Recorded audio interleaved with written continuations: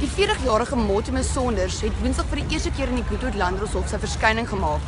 Hy het verskyn op aanklag van moord en twee van verkrachting op die 3-jarige Courtney Pieters van Elsies rivier.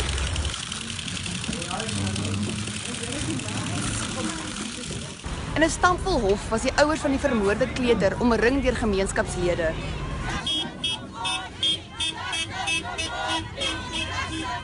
I'm devastated it could have happened to my child. I mean, it's, that's a three-year-old, this is a two-month-old baby. How do you do things? How do people get aroused for kids like this? This is not on. This is our children. It, it can't happen. It really needs to stop now.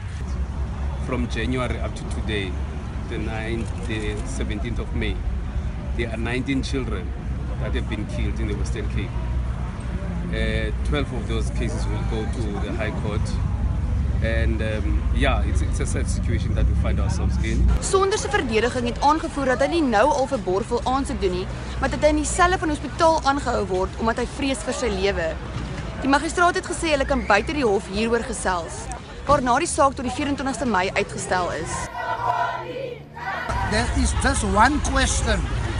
What we want to know, what did the child do to him? We want to know and to hear that answer. That's all what we want, and then justice can follow.